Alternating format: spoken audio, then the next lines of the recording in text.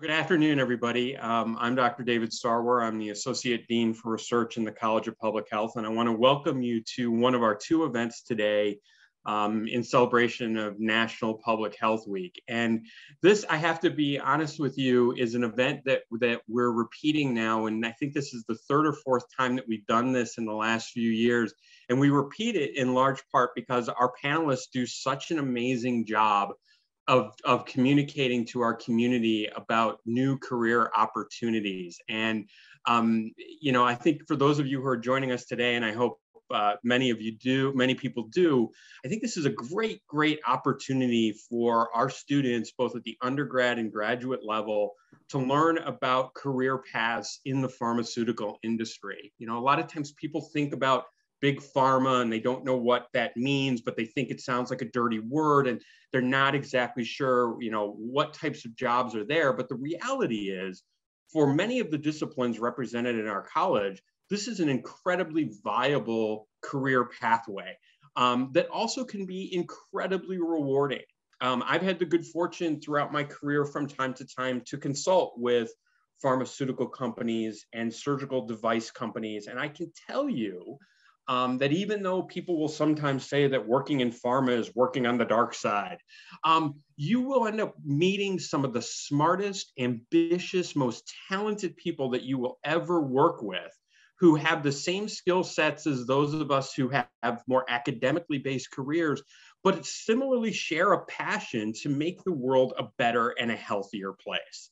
Um, so it's my, my absolute pleasure to bring back three colleagues of ours, colleagues and friends at this point, uh, including two of whom are our own alumni, to share with you their experiences and their perspectives about their career paths um, and where they've gotten to where they are, and perhaps share with all of you ideas of what you can do next going forward as well. So we're joined today by Matt Phillips. Matt is a senior specialist in the Center for Observational and real world evidence, otherwise known as CORE, but not to be confused with the CORE in our college, at Merck Pharmaceuticals.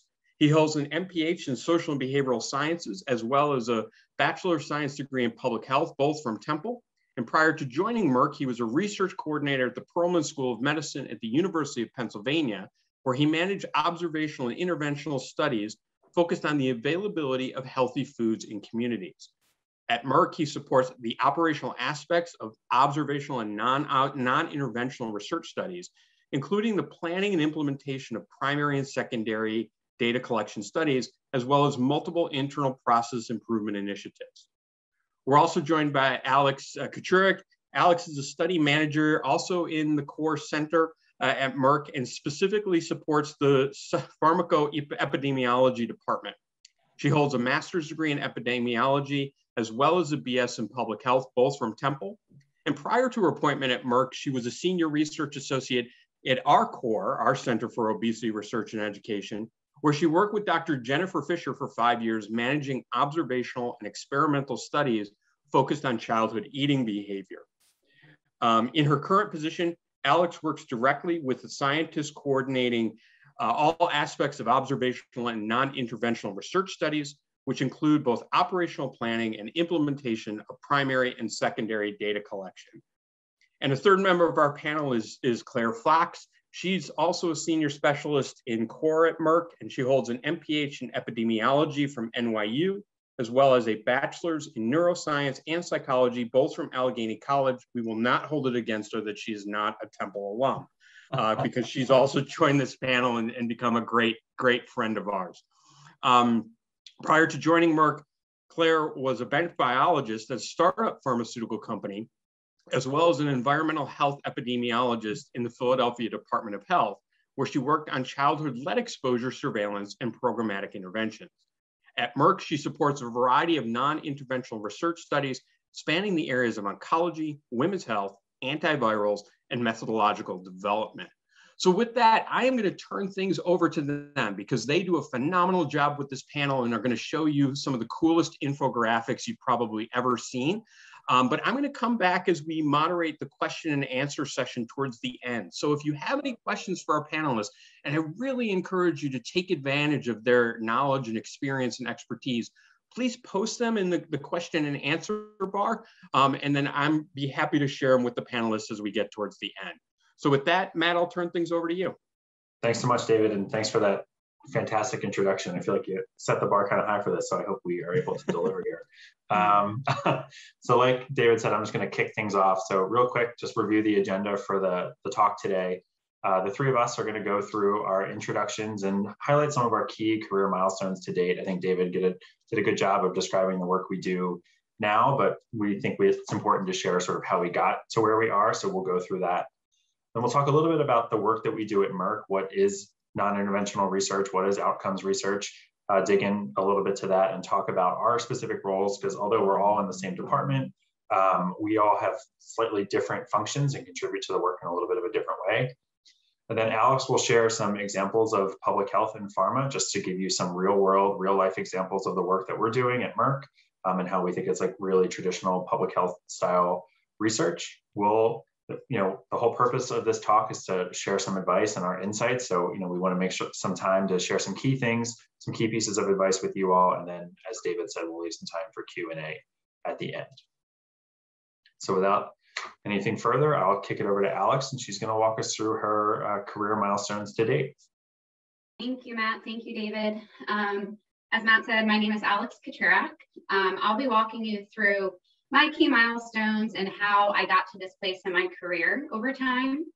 So before we get into it, I want to say that this um, slide, which I'll walk you through, is a little bit busy looking. It appears very linear. As you can see, that's a straight line there. And as we were building this presentation, we thought it was important to point out that, you know, Claire, Matt, and I all had very zigzag paths to get where we are in our career, and it wasn't as straight as this appears. Um, I know that I attend a lot of talks that are similar to this one, and I always see this straight line. And in some ways, it's so frustrating to me because I'm like, how do they know exactly what they need to do to get to where they are now? And as I'm learning um, through my own career and, and in discussions that I've been having, it's, it's not quite that straight. So I just like to put that out there before I get started.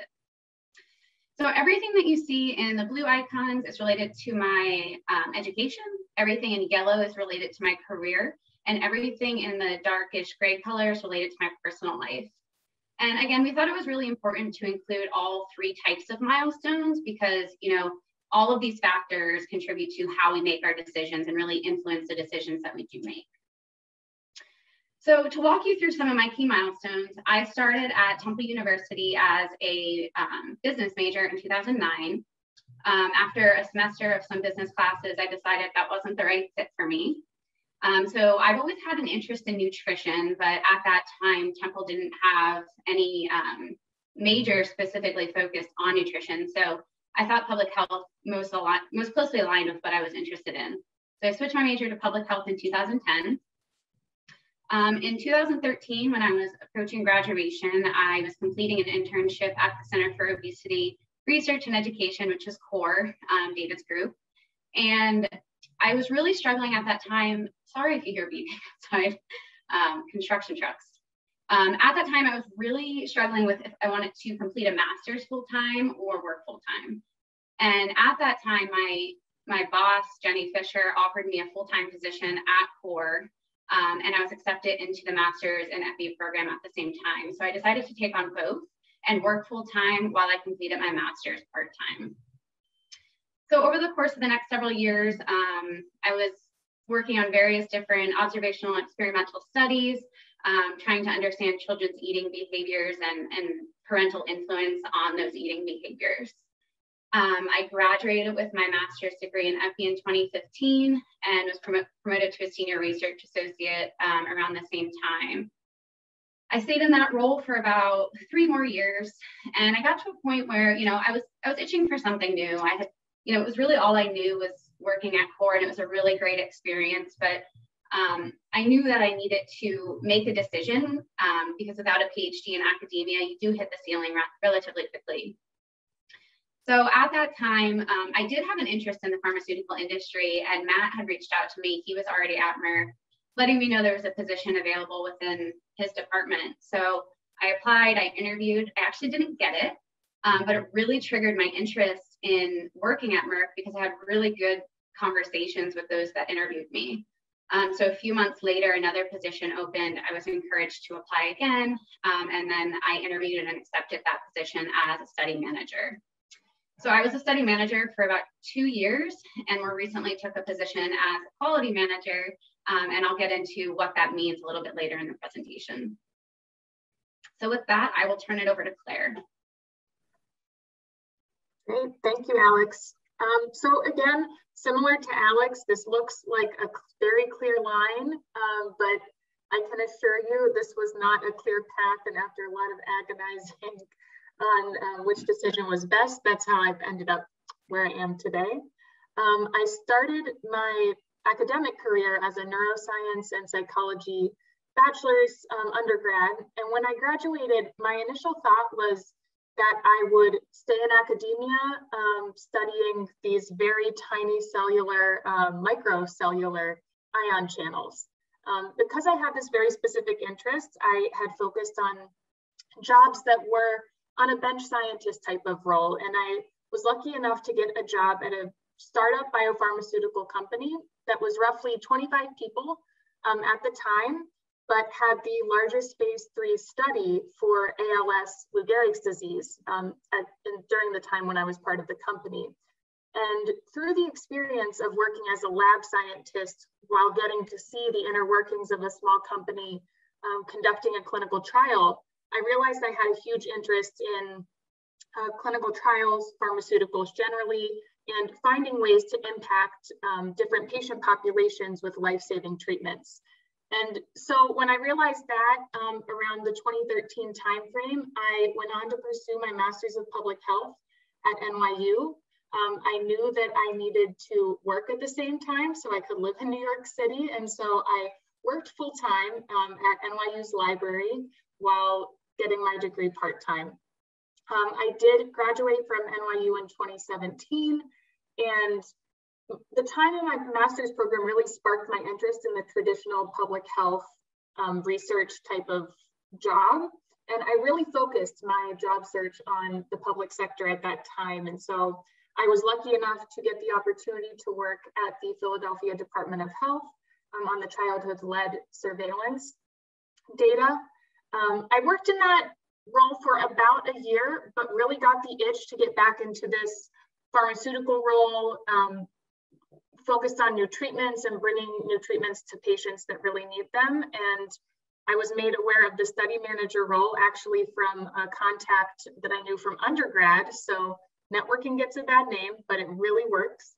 Um, I applied for the role, got that role in 2018, um, and I was recently promoted to senior specialist uh, early 2021. With that, I will hand it to Matt. Sorry to get myself off of mute there. Thanks, Claire. So um, we sound like a broken record at this point, but it, I just also want to highlight that although this is a straight line, the journey to where I am today was certainly anything but. Um, I started undergrad at Temple back in 2008, actually as a nursing major. I thought I wanted to do like direct patient care. That's um, where I thought my career was going to go. And then after about two years of taking all the prereqs for nursing school, I thought, no, this isn't this isn't quite where I see myself anymore. Um, and I actually actually went into an advising appointment and said, what's the easiest major to change into with the classes that I've taken so far? Um, and the advisor said, public health pretty much lines up. And I said, I don't know what that is, but let's give it a shot. Um, so admittedly a terrible way to pick a major. Um, I don't recommend it to anybody on the call, but luckily enough for me, it worked out. But I haven't really looked back since. Um, so I graduated with my bachelor's in um, public health and then immediately went back to get my master's in public health from Temple also. At that time, I was working as a teaching assistant in the, the university. Um, and during my time at Temple, when I was in grad school, I was also working as a research coordinator at the University of Pennsylvania. When I graduated from there, um, I actually was able to get a full-time job and started working there um, full-time that role at the time, um, had you asked, I would have said like this is like my dream job. It was like the job that I pictured when I was in grad school. That's why I went to grad school was to get a job working in food, um, nutrition, and like sort of like policy evaluation. And that's exactly what I was doing. And I loved it. I loved the work, but I realized similar to like what Alex said pretty quickly that you bump up against a ceiling in those roles pretty quick. And I have no interest uh, in going back for a PhD. So I realized that I, it was time for a career change um, after about a year and a half, two years in that role. I didn't really know what I wanted to do, but I know I knew that I wanted a new a new job and a new challenge. Um, and somebody that I knew from grad school, uh, another TA, was working at Merck in a contract position. Reached out to me and said, you know, we had this position available on our team. I think you should apply for it. And I laughed it off and said, no, thank you. Um, I didn't go to get two degrees in public health to work at a pharmaceutical company. Um, and I basically told her, no thanks.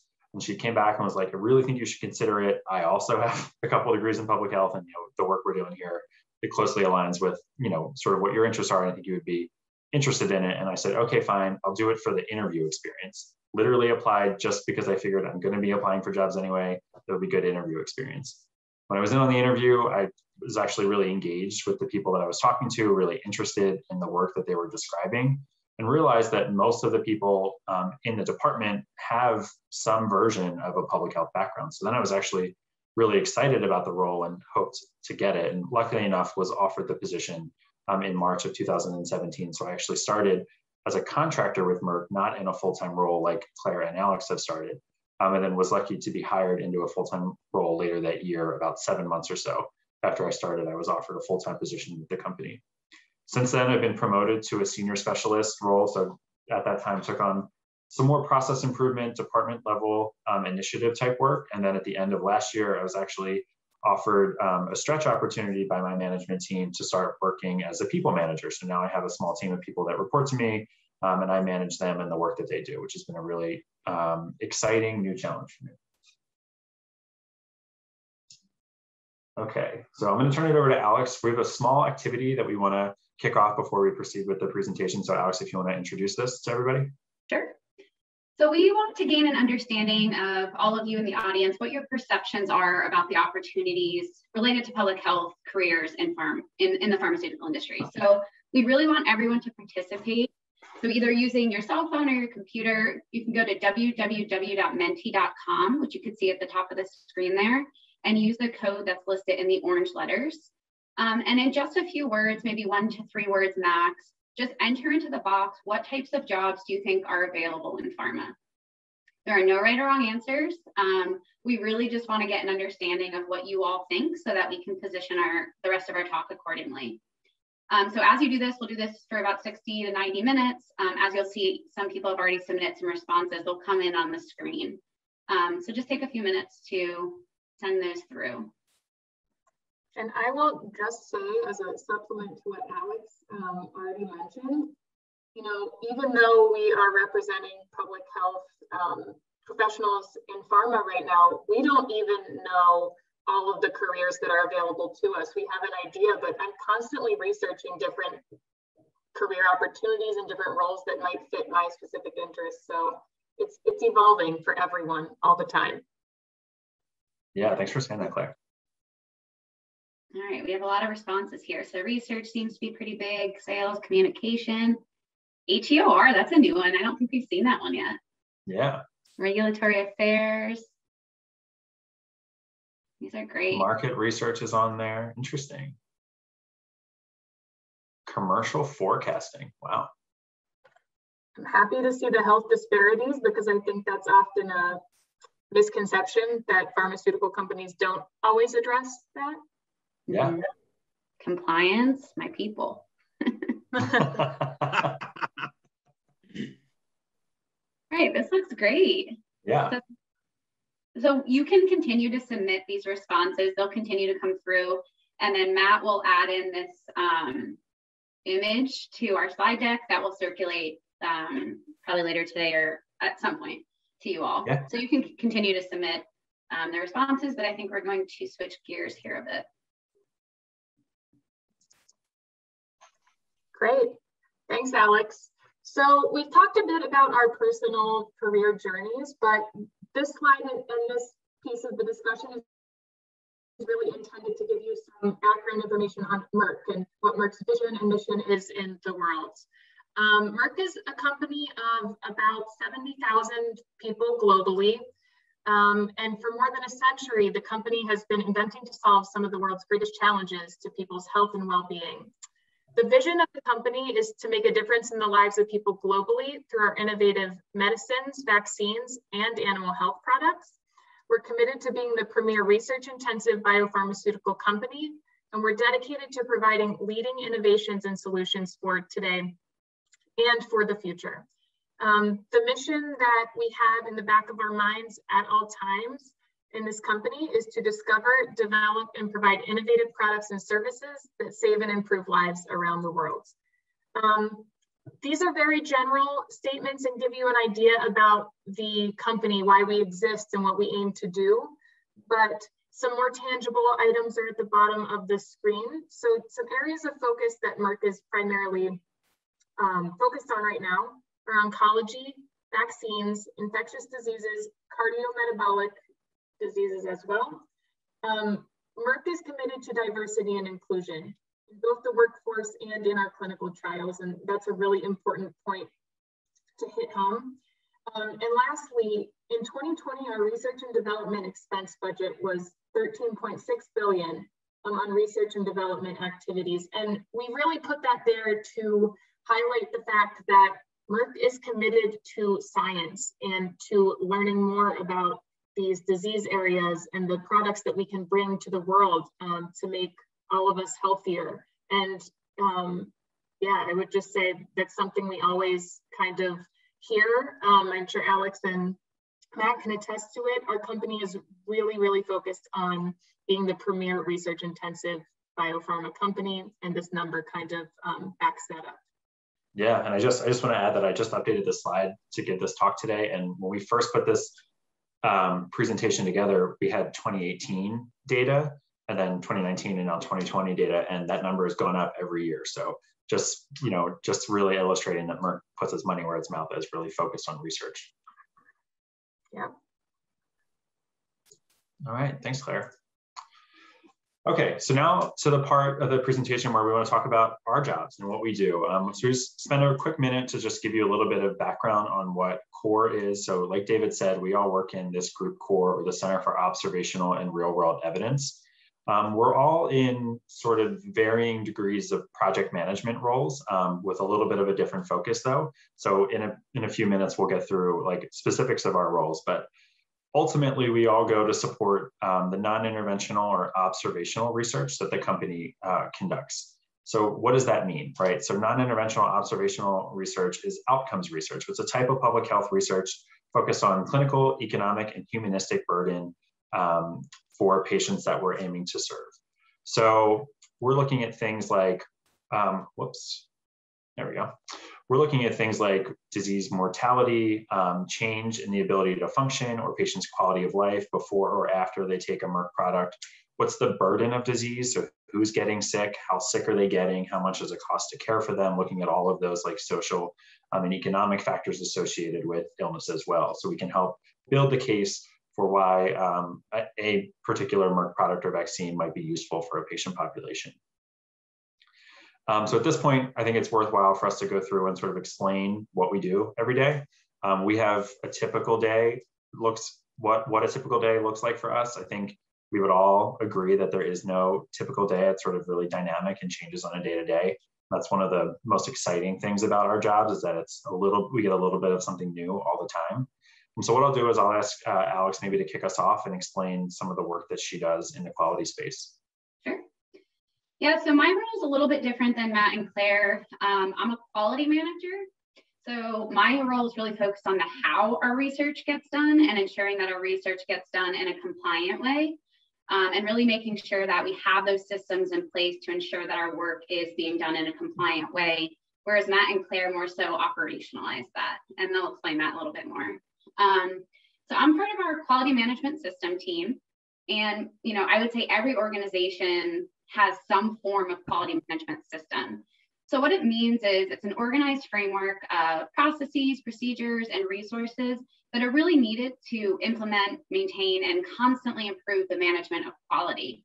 So for, for my sake, it's the, the quality of our studies is what I am focused on. So one of the large parts of my role is working to ensure that our standards are being adhered to and working to train our study teams on our standards. Um, so when I say standards, it's, you know, it, they really provide the step-by-step processes for activities that are conducted within CORE for non-interventional studies to really ensure that all of the, you know, company regulations and policy requirements are met. So in order to conduct non-interventional research within CORE, there's a number of procedural documents that must be followed. And built into each of those is, you know, the different rules and regulations within our company, as well as, um, you know, the good pharmacoepidemiology practices and the good pharmacovigilance practices to really ensure that our bases are covered and that these stepwise um, documents include all of that. Another part of my role is I'm really involved in our internal audits. Um, so as a regulatory requirement, every pharmaceutical company is required to conduct internal audits. So I work as a partner to both the study teams as well as the auditors to ensure that they're, you know, being conducted in a really smooth fashion. And then based on the audits, if there's any findings, um, I work on the quality improvements from those. So really trying to understand the root cause of what that finding was. Why did it happen? How do we correct for it? And how can we prevent it moving forward? And then I'm also, you know, always monitoring the trends in any quality control findings as well as routine metrics. So really just trying to make sure that our work is being done in the most compliant way um, because science is really twofold. Um, it needs to be both rigorous and compliant. So, um, you know, not only does it need to, we need to be getting data, but we need good data. So that's a lot of what I focus on. So I don't know, Matt or Claire who wants to go next. I can take it. Um, great. I love that Alex used the word operationalize um, to describe the roles that Matt and I play um, in some ways within CORE.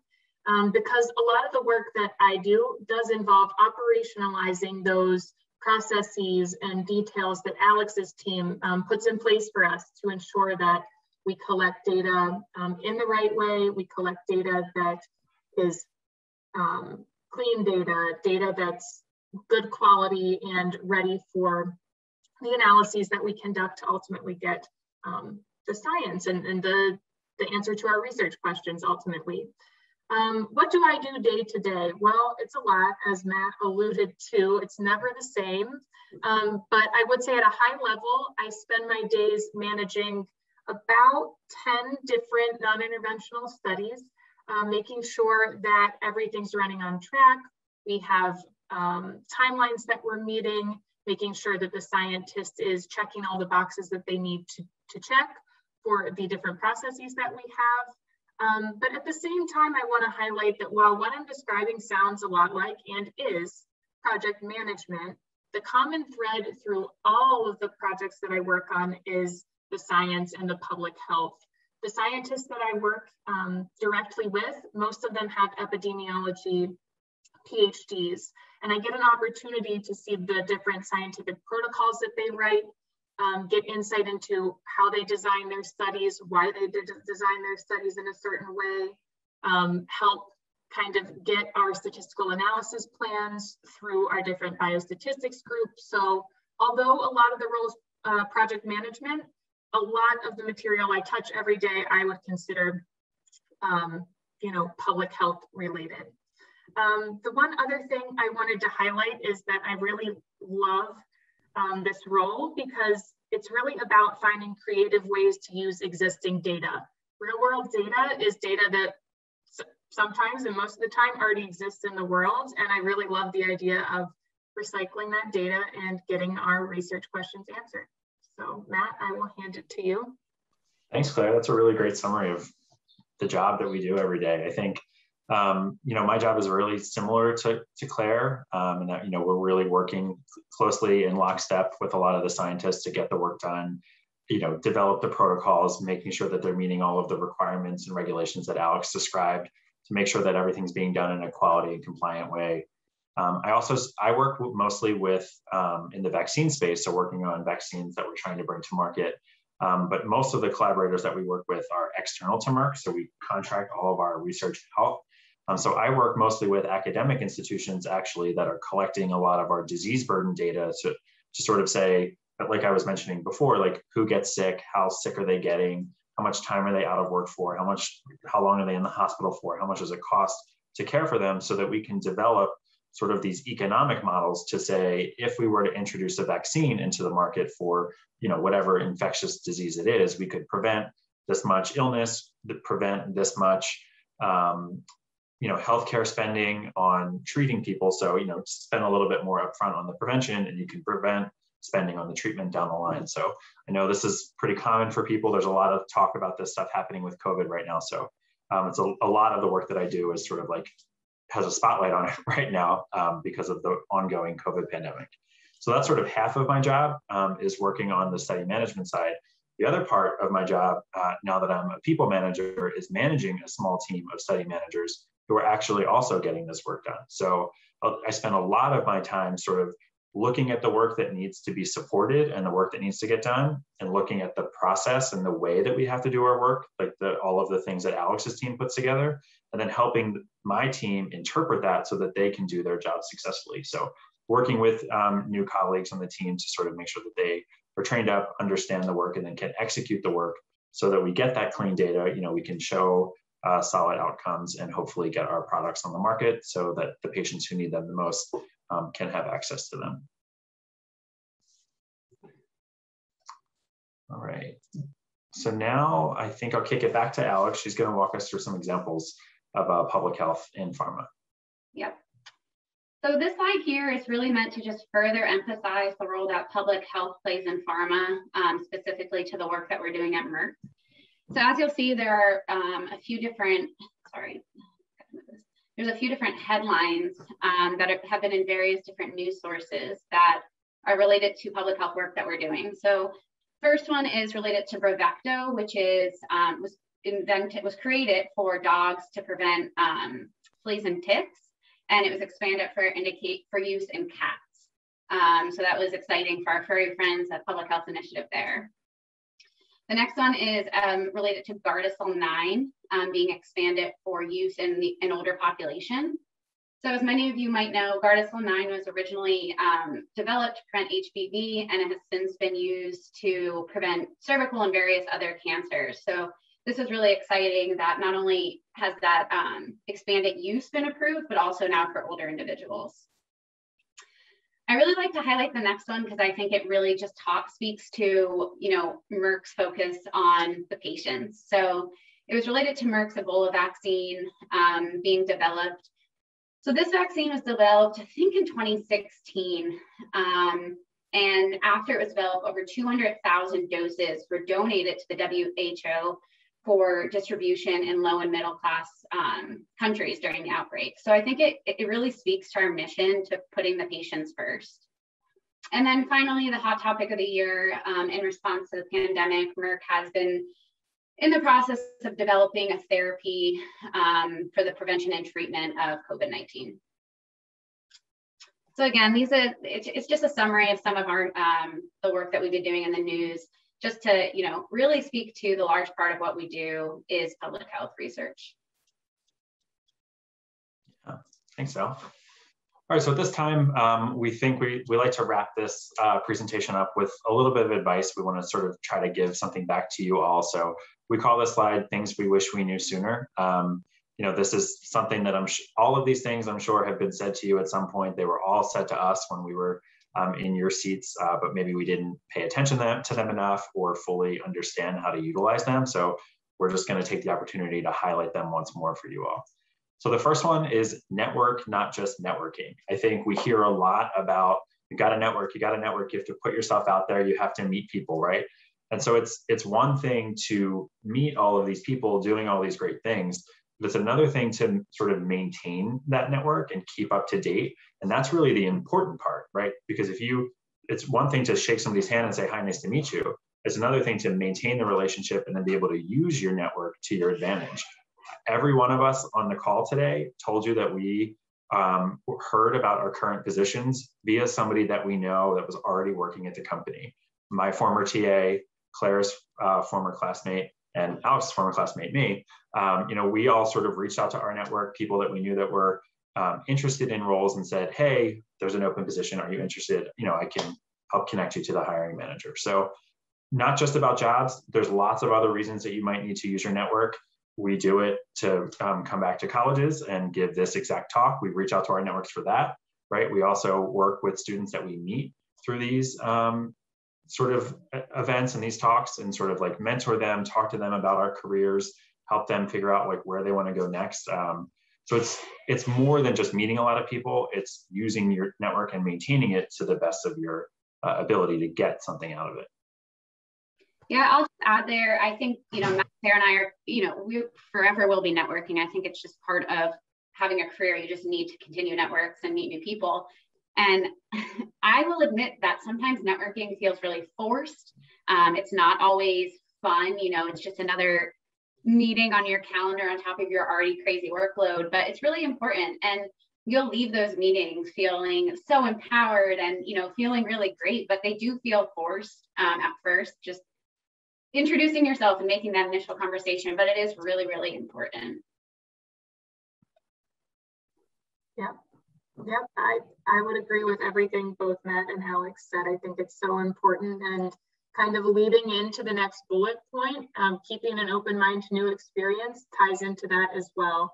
I know very recently I reached out to someone uh, very far outside of my department just to learn more about their role. And from that, I could potentially have an opportunity to try something new that's not necessarily in my current skill set, but I think could build a different skill set for me that could um, help benefit my career down the line. So I would just say, you know, the advice here is that if you're not um, experienced in something, don't always knock it um, before you think about trying it and think about the implications of what you would learn from that new experience and how it might play into um, just giving you a more informed decision down the line and what you want to do with your career. Yeah. When I was an undergrad, I vowed I would never have a career in research. and that has literally been my whole career. So yeah, it's a really good point. Yeah. Um, the next one is highlighting transferable skills. So, you know, for those of you who are applying for positions and starting to look at job um, postings right now, you might notice that you need, you know, entry level jobs, you need some, you need a lot of years of experience and you need the degrees, but I think it's really important to pull from other experiences that aren't necessarily traditional. Um, so think about your part-time positions you had at a grocery store or as a server um, while you're completing your degrees and pull from those so that you can talk about them during your interviews. Um, I would say if a position says you need one to two years experience and you don't have that traditional, you know, nine to five experience, still apply because you can pull a lot of situations from other circumstances that make you really relatable.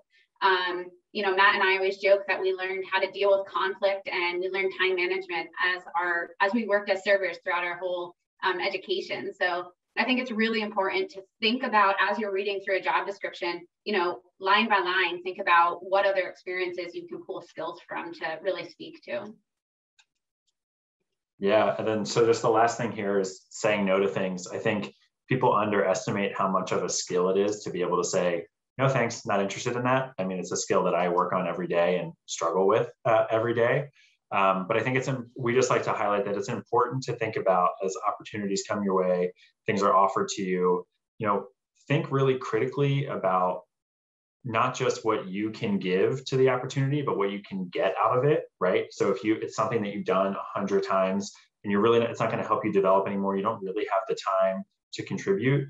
It's okay to say no. It's okay to turn things down if it's going to stress you out, stretch you too thin, and you're not really, it's not going to contribute to your overall development. It's okay to step back and say, I actually don't have the time to dedicate to that because I, personally, I think it's better to say no to something and you know not do it than say yes to it and not be able to give it 100% and then deliver you know subpar not perfect results right? That would be worse than saying no i think. So just a reminder that um, it's a skill work on it and start early um, so that by the time you are a little bit further in your career you're very skilled at turning things down that maybe um, you don't have the time or uh, um, effort to contribute to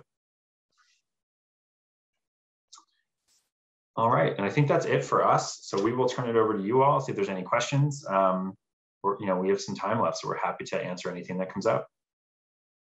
Yeah, well, well, thank you guys again for just another fantastic presentation. I've been getting text messages from um, others in our community. have heard you guys do this before, and you know, I I can't underscore enough how much of a gift this is to our students to be able to hear your perspectives on how your careers have developed and and kind of the peek behind the curtain of not only what working for a company like Merck is like, but also the, that beautiful merger of, of what it is you do from a nuts and bolts perspective, you know, how this is fit into the larger narrative of your lives. You know, I think I noticed now that obviously to get a job at Merck, you have to buy a dog first. Um, it looks like that's a prerequisite um, from your infographics.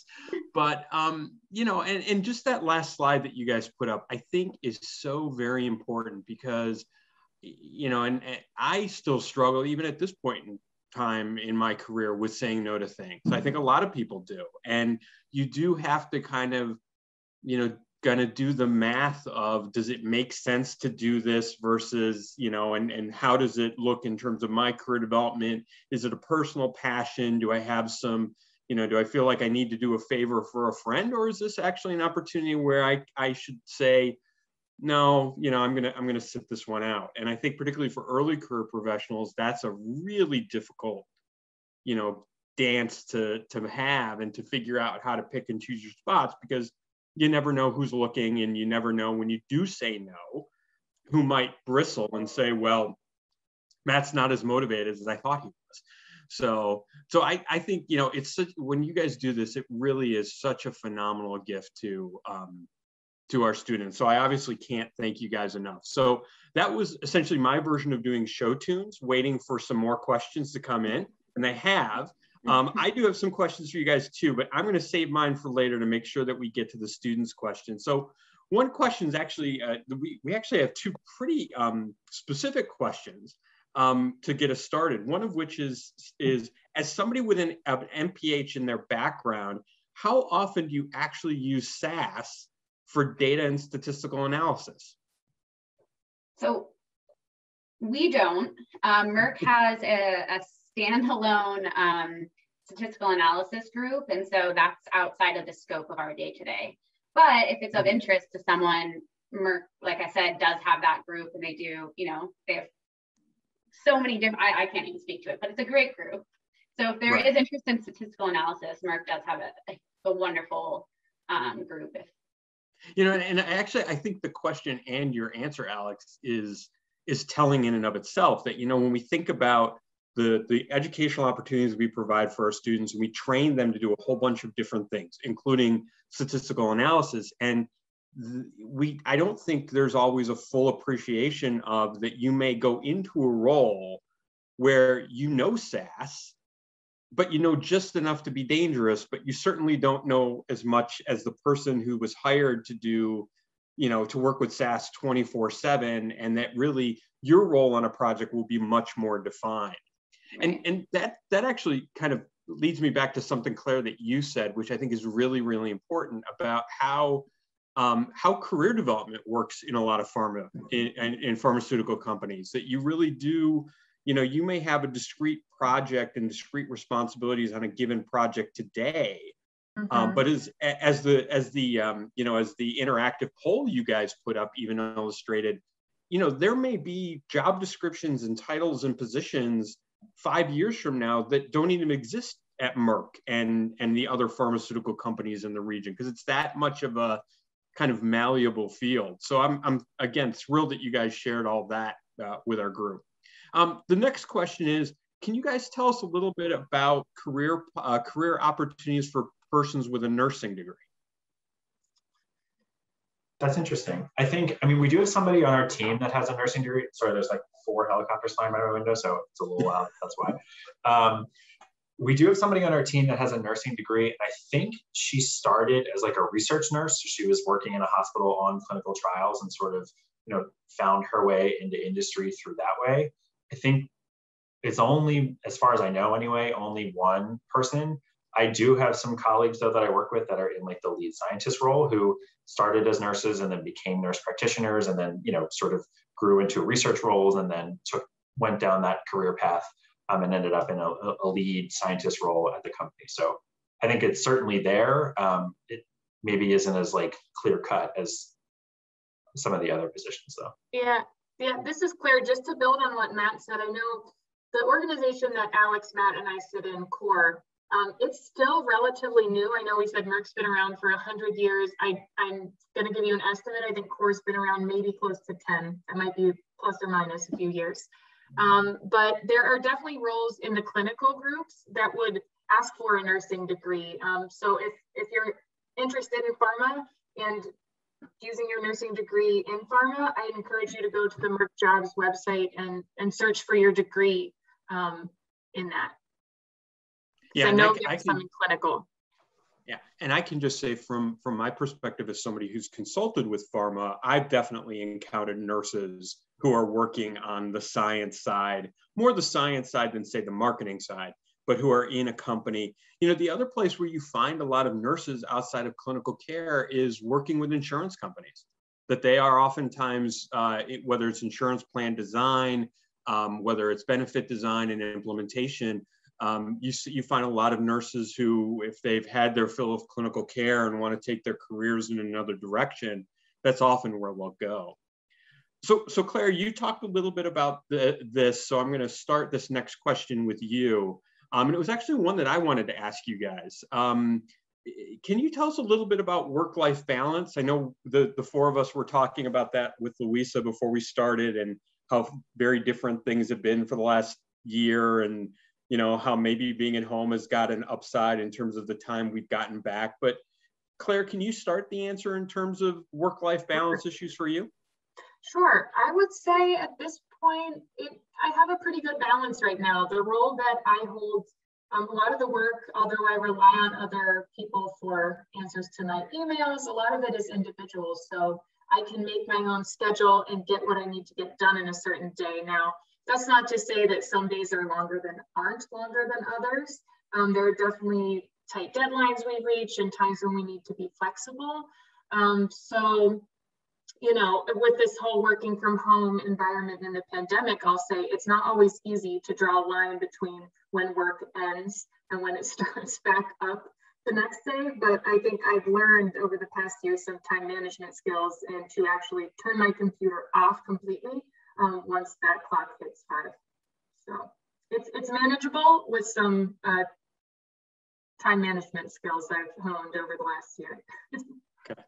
Yeah, and I just I would add to that, Claire, that the company's done a really good job of prioritizing like our own mental health to make sure that we're not burning out because it is so easy to just you don't have to leave to like beat the traffic, right? So you're not like running out of your office at 4:30 because you're just walking down the hallway to another room in your house, right? So the company's done a pretty good job of like prioritizing your own time outside of work. So if you've got kids at home or other priorities, you can sort of like flex your schedule now because we don't need to work nine to five anymore because that's not the situation we're in. Um, and I, I, mean, I've even had people like if I'm on later than usual, sending emails, reply and go, "Why are you online? Like, log off. You should be done. You stop working." So people in you know like our, our bosses and our bosses bosses are cognizant of that and are encouraging us of us to draw the line you know sign off make sure you walk away for lunch you know get outside take a walk stop looking at your computer. So it's been really encouraging to see that the company's not just expecting you to sort of like churn and churn and churn until you burn out. Um, they are, really are trying to put a focus on you know draw make sure that you have that clear boundary between your work and your life so, so we've got a couple of questions related to the role that your MPH degrees have played in um, in your career. So, so really more two specific questions. Can can you all comment on which of your courses have you that you took that you took as part of your MPH degree have been most advantageous in terms of, of where you are now, have been most helpful to the jobs that you have? And then also, can you guys comment a little bit about the pros and cons of uh, for those thinking about an MPH degree full-time versus part-time, online versus in-person, and, and given our current climate and state of affairs, are those different options viewed in a slightly different light? Yeah. So for the first question, in terms of what courses I found to be the most valuable, I would say, which I never thought I'd admit this, is was research methods.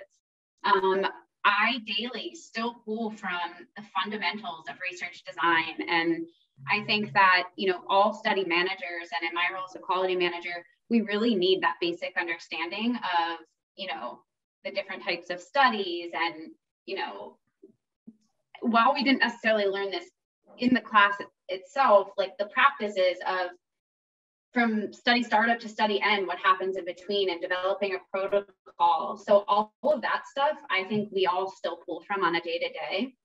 I always say too, um, like the professional seminar class that we had to take where you had to work on interviewing and um, revising your resume, things like that. I cannot emphasize enough how important it is to be prepared for interviews practice those behavioral questions, practice those situational questions, um, because it's it's very intimidating. When I even interviewed after already interviewing at Merck, it never gets easier for me.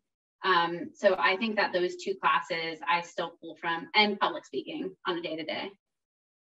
And then to answer your second question, I personally liked the way that I did my my master's part time. Um, I was feeling really burnt out after my undergrad, and I don't know that I would have been happy to go straight through and without having a clear understanding of what I wanted to do. Because at that when I graduated, I had an idea, but I wasn't entirely sure.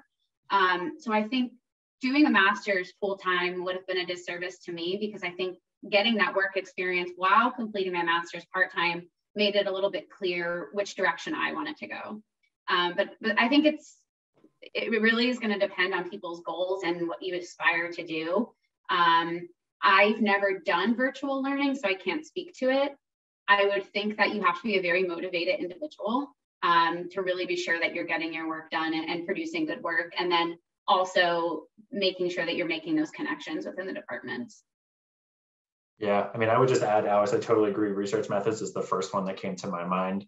Um, pull from it every day. I think it, it, you know it's I can't underscore how important that that was. Also, epi and biostats. I think just having like a baseline understanding of what we're doing, what the outcomes look like, why they're important, why some things are more important than others is just helpful. It provides a lot of context to sort of like wrap your head around what we're doing and why we're doing it is, is really important. Um, and then in terms of the, you know, sort of what type of degree in person online, you know, I interview people all the time. I don't ever look at whether or not their degree was in person or online. That, you know, it, it's, I wouldn't even pay attention to that. I don't think. I'm really looking at what, what experience do you have? Um, does it align with the position? Is it going to set you up for success in this role? And sure, the degree, if it if it's a minimum requirement for the position, it's important. Um, but I'm more focused on your experience and how you describe your experience on the role or on your resume. Yeah. Matt, and, staying, staying, I'm sorry, Claire, go ahead. Oh, no, I was just going to say, I completely agree. I think uh, research methods, and then I just did want to point out the nice thing about um, the epi and biostats background that we have is that when we ultimately do finish a study, knowing what those uh, risk ratios, hazard ratios actually mean, um, it really, at least for me, like gives more weight to it and gives me a better understanding of the impact of my work, which is important to me personally. I have my epi and biostats textbooks on the bookshelf behind me, and I open them. yeah, but but, but I, I, don't I don't see the temple mug visible this time. Okay. Oh, there it is. I'm sorry. It's, it's, uh, he just got it out of the dishwasher for this call. so you know, Claire, I'm I'm actually glad you said that because um, you know I I think one you know. I, I don't live, uh, you know, I live close to Merck's headquarters, and a lot of people who live in my neighborhood work there. And and you know, one of the things that I've just observed is for the people who, and and in some cases they've been there for a long time, there is a tremendous sense of pride that comes with working on a an agent or a disease state that you know when when you guys have a product that's making people healthier and treating cancer. I mean, I, I, I, you know, I see the twinkle in their eye when they talk about, you know, we we've got this, we've got that, you know, whatever. And and it's um, you know, it's it's clearly a sense of pride akin to, you know, when I publish a paper or something like that. And and I think that that job satisfaction is is I'm glad you really brought that up. And you know, the other thing that I've always been struck by, and it gets back to this idea of, you know, not even though there's a career pathway, you don't necessarily know where it's going to go. But I've, you know, been in conversations with people saying, boy, you know, when I started 10, 15, 20 years ago, I had no idea that I would be sitting in the Ministry of Health in China talking about, you know, this, that, or the other. No, you know, nobody, if you would have tapped me on the shoulder saying, oh, you know, 20 years from now, you're going to be going all over the world talking about product X for this company and talking to high level government officials all around the world, you know, you, you might chuckle. Um, but but that's the reality for a lot of people. And so from I think both a professional and a personal perspective, it can be incredibly rewarding and a great sense of pride. Can and we're we've got about five minutes left, but we've got we've got two other questions at least that are a little bit paired. Um, one of which is, and, and Matt, it kind of goes back to the coursework question. Um, are there specific field work experiences that all of you had that you think set you up nicely for a, a position in pharma? And then alternatively, for people who maybe Alex, like like you and like Matt, and, and actually Claire, you as well, for those of you who started off working on research projects in you know academic settings how do you then transition how you know tell us a little bit about that transition to the industry side of the street yeah i'm happy to kick it off. I think in terms of field work i mean mine were varied. I worked i had a field work at a nonprofit. I had a field work in the department of public health. I had a field work in academia. So i sort of like was trying to see what was the best fit for me. And i think i wouldn't say any were better or worse than another. I think they were all very different experiences that sort of like helped me see how different institutions work and understand just like different ways to get work done. Um, so I think I wouldn't say that there's like a gold standard for like a fieldwork opportunity that you should pursue.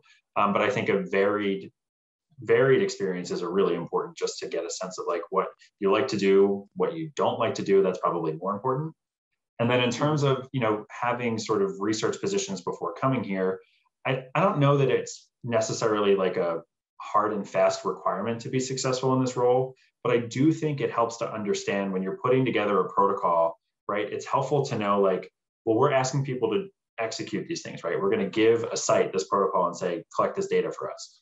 It's helpful to be able to think through like, what is it going to take? What is somebody at the site level, the research coordinator, the PI, the research assistant, whoever, was it going to take them to actually go collect this data, collect these specimens? How are they going to process it? Think through it all is really mm-hmm. helpful when does like like Claire said, you know, we sort of like advise sometimes on protocol development to say that's never going to fly in the real world. Like that's no one's ever going to be able to do that, right? Having that boots on the ground experience, um, mm-hmm. I think gives us some credibility in the role that we have to speak up and people, you know, take our opinion seriously. I'll see if Alex and Claire please add anything there. No, I agree with you, Matt. Um, I would say in terms of transitioning from academia to industry, there, there was certainly a learning curve, just trying to understand the various policies and regulations, but Merck expects that. And so never on day one are you expected to know everything. You know, they typically say nine months to get you where you feel comfortable and you have many mentors and buddies to really get you up to speed. So it certainly is a learning curve, but you're not alone in the process. And there's no expectation that you be an expert on week one. So Merck's a they're, they're a really reasonable company, I would say, and they're really supportive. Yeah, completely agree with both of you. Um, I can't speak to the field work aspect, but you know, my background wasn't necessarily in academic research um, or large pharma research before I came into this role. I really had to leverage my background working at a library, um, working at the Department of Health for a little bit and think about how those roles and experiences translated to what the roles at um, Merck were. And um, yeah, just another plug for transferable skills because it, it worked for me. I just took some time thinking critically about it. Yeah. So the last question, we've got several people who have chimed in on this, and and I'm and I know that it's happened previously too, but I think it's a great way to end. So for people who are interested in either exploring your summer internship program or looking at potential employment opportunities, what are good next steps for them? So I'll make a plug here. Um, my team, the quality team, actually has a co-op position open right now. So it's designed for undergrad or graduate students. It is a six month position. So I think it's July to April, I don't know, whatever those six months would be, full time, fully paid. Um, the application closes at the end of April. So if anyone has interest in that, please reach out to me. Um, so that's my plug. In terms of employment, um, Merck's career website, you can go in there and put your interests, your degree, um, your, your work history, and they'll automatically send you an email with positions that match your keywords um, on a, I don't know, like weekly or biweekly basis. So I would recommend that. Yeah, and I'll just say that you know the summer internships we post those positions. It's we post them pretty far in advance, so I think they go up in October for the following summer. So we always share those. We always send them through to David, you, and others um, at Temple. So you know, look out for those. I, I, guess they get posted on a career page somewhere. Mm-hmm. Um, that's how you can get with those. And don't underestimate an external worker position, a contract position. Like I said, that's how I got started here. Um, it was I thought it was a little bit risky. It's very common in the pharmaceutical industry. I think it gets looked down on a little bit in academia. Oh, you're you know you're just going to take a contract position, but it really is a good entryway into industry. So it's just another avenue for you to consider. Great. And I guess the, the one last thing that I would add to our students who are listening as we wrap this up, well, obviously this was a bit of a deep dive in with what goes on at Merck, and you know we're obviously hugely grateful for you willing to do this. You know, I think it's important that if people appreciate that this region of the country is actually yes. a hotbed for pharmaceutical companies and surgical device companies, and so you know there are many different companies in this space within about a two to three hour radius of Philadelphia. So whether you go up to northern Jersey and New York, you start bleeding into Delaware and Maryland, you have a lot of these companies. And so for people with interests in this area, there's a lot to choose from. And, and I think people don't often realize that until they begin to, you know, work at a company like Merck and find out, oh, you know, four of our competitors are within two hours of us. And you know so we see them and so forth. So um, so with that as we're at the top of the hour alex claire matt i want to thank you guys again. Uh, as i alluded to in the beginning you know we've done this now a few times that you guys are not only family but also friends. And we're, we're thrilled that you're willing to come back and share your expertise and experience with us. Um, you know, I, am getting text messages already from our faculty and students in my class saying this was great, this was fantastic. So I really, really appreciate you guys spending some more time with us. Um, you know, hopefully, if we do this again next year, and I certainly would love to do this, maybe we get to be in person uh, which, would, which would be a nice, even though we've all gotten really good at this and it would force you guys to come out of your homes, but it would, it would be great. To, it'd be great to see you guys in person as well. Yeah, and I just want to just quickly plug that you know we're all happy to connect with your students that are on the call um, and those that are going to watch this recording. We'll share these slides with you all, um, and our emails and our LinkedIn pages are uh, hyperlinked on here. So please connect with us on LinkedIn, reach out, introduce yourselves. You know, we're happy to have a conversation one on one if you're interested in that. So use your network. Great. Well, thanks again, guys. Um, I, I uh, you know, it's been another great addition to our programming for National Public Health Week, and it's always great to hear and see you guys and see how things are are progressing with all of you. So take care, and we'll be in touch soon. Thanks so much. Thank Bye, you. Bye.